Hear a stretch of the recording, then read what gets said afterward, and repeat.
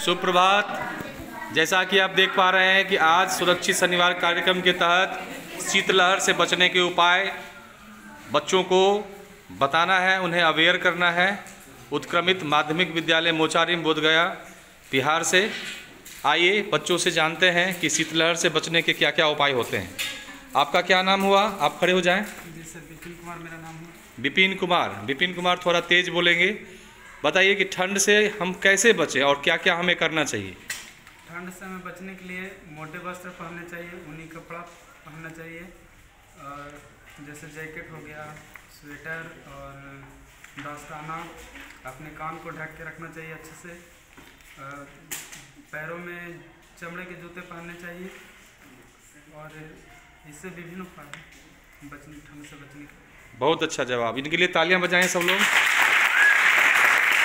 बैठ जाइए। चलिए और कुछ बच्चे से हम पूछते हैं कि ठंड से बचने के क्या उपाय होने चाहिए। आप खड़े हो जाइए। आपका क्या नाम हुआ? सर मेरा नाम साहिल कुमार है। साहिल आप बताइए कि हमें ठंड से बचने के लिए क्या क्या करना चाहिए? सर ठंड से बचने के लिए पहले हमें ऊनी वस्त्र पहनना चाहिए। मोटे मोटे जैकेट हो गया या फिर लेदर का कपड़ा हो गया वो पहनना चाहिए।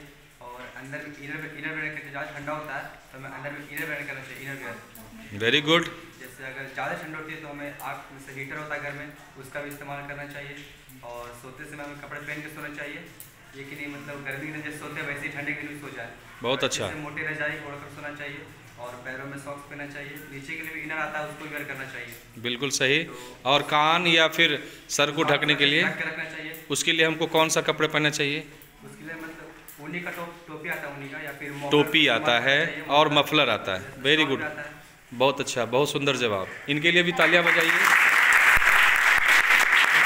देखिए ये बच्चे कितने शानदार जवाब दे रहे हैं। आइए कुछ गर्ल्स के तरफ़ से भी हम कुछ बच्चों से पूछते हैं कि ठंड से बचने के लिए क्या क्या हमें करने चाहिए। चलिए आप खड़े हो जाइए। आपका नाम? इनका नाम सुजाता कुमारी है। सुजाता आप बताइए कि ठंड से हमको बचने के लिए क्या क्या करना चाहिए? ठंड से बचने के लिए मोटे मोटे कपड़ा पहनना चाहिए। कान में अच्छी तरह से झाँक देना चाहिए और मास्क लगा कर बाहर निकलना चाहिए। अच्छा मास्क लगा के बाहर निकलना चाहिए वेरी गुड जैसा कि अभी अभी न्यूज़ है कि कोरोना का वेरिएंट जो है फिर से सर उठाने लगा है। तो बहुत अच्छा इनका एक सुझाव है कि हमें मास्क भी पहनना चाहिए। इनके लिए ताली बजा दीजिए थोड़ा सा। बैठ जाइए। और कुछ बच्चों से हम लेते हैं। अ, मैं चाहूँगा पीछे वाले बच्चे से ले जवाब। चलिए आप खड़े हो जाइए। आपका क्या नाम हुआ? मेरा नाम गुड़िया कुमारी गुड़िया कुमारी। गुड़िया आप थोड़ा तेज बोलेंगी। गुड़िया आप बताइए कि ठंड से बचने के लिए हमको क्या क्या करने चाहिए? हमको अच्छा अच्छा वस्त्र पहनना चाहिए कान ढक लेना चाहिए और सोते समय हम लोग को रजाई ओढ़ लेना चाहिए और सॉक्स पहन लेना चाहिए। वेरी गुड इनके लिए भी ताली बजा दीजिए। अच्छा अब ये बताइए कि और कोई है जो अपने मन से बोलना चाहते हैं? अभी तक तो मैंने कहा कि इनको इनको अभी तो आप बोलना चाहती हैं। आपका नाम क्या हुआ?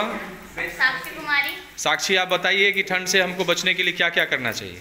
ठंड से बचने के लिए हमें गर्म कपड़े पहनने चाहिए और संतुलित मात्रा में धूप लेना चाहिए गर्म खाना खाना चाहिए ठंडा हो भी जाए तो उसको गर्म करके खाना चाहिए। अपने कानों को हमेशा ढकना ढकते रहना चाहिए और ज़्यादा ठंडा लगे तो रजाई ओढ़ के सो जाना चाहिए अच्छा चलिए। इन्होंने दो डिफरेंट जवाब दिया कि हमें धूप का भी सेवन करना चाहिए। कुछ अलग इनका आंसर था इनके लिए जोरदार ताली बजा दी। और कोई? बॉयज़ की तरफ़ से कोई? कोई ऐसे हैं जो जो चाहते हैं कि हम कुछ अलग बोलें कुछ अलग जवाब दें? जिनके पास चाहे गर्ल्स में भी कुछ अलग जवाब देना है तो बिल्कुल सही। बताइए आपका नाम? मेरा नाम रिया कुमारी है और मैं ठंड से बचने के लिए कुछ थोड़े बहुत उपाय बताने जा रही हूँ। वेरी गुड बताइए। जैसे कि हमें सुबह उठकर हमेशा वॉशरूम जाते हैं तो हाथ तौलिए में अच्छे से पोछ कर किसी को टच नहीं करना है ठंडे हाथों से और फिर और आग जला सकते हैं कोई बचा हुआ जो पहले का जो कॉफ़ी रखा हुआ है रफ है उसको जला आग जलाकर हाथ भी ताप सकते हैं और फिर खुद को गर्म भी कर सकते हैं और सुबह सुबह ट्यूशन जाते हैं तो सॉक्स जूते पहन कर जाना चाहिए और जैकेट भी डालना चाहिए और टोपी तो हमेशा पहनना चाहिए। और फिर इनके जवाब में ये आया कि आग भी तापने चाहिए। यस इनके लिए भी जोरदार ताली दी। बहुत सुंदर। आप लोगों ने आज शीतलहर और ठंड से बचने के उपाय के बारे में खुद से बताया। और मुझे बहुत खुशी है कि आने वाले समय में, चूँकि ठंड में अब धीरे धीरे बढ़ोतरी हो रही है तो आने वाले समय में हम लोग और कोशिश करेंगे कि कम कपड़े पहन करके आएँ और टोपियाँ पहन करके आएँ, जैकेट पहन करके आएँ और ठंड से बचने के लिए आपको हमेशा ध्यान रखने की ज़रूरत है, क्योंकि ठंड में अक्सर सर्दी, खांसी ये काफ़ी ज़्यादा होता है। तो हमें गर्म दूध के साथ हल्दी डाल करके रात को सोते समय लेना चाहिए। यदि आप चाय पीते हैं तो चाय में थोड़ी सी काली मिर्च, है ना? थोड़ा सा तुलसी, ये सब डाल करके हम लोग पिया करेंगे तो उससे भी हम, हमारा शरीर क्या होता है, वो गर्म रहता है है ना?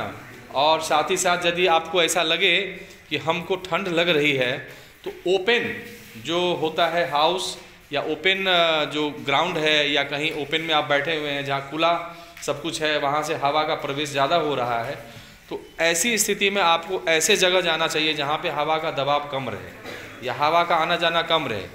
घरों में रहें, घर की खिड़कियाँ बंद करके रखें। वेंटिलेशन यदि है तो उसको भी बंद करके रखें। एक आध वेंटिलेशन आप खोल कर रख सकते हैं, बट यदि घर में ज़्यादा हवा आ रहा है, जा रहा है तो उसको रोकने का प्रयास करें, क्योंकि शीतलहर में हवा भी ज़्यादा तेज़ चलता है। ठंड लग सकती है। ठंड लगता है तो पैरालिसिस अटैक भी हो सकता है।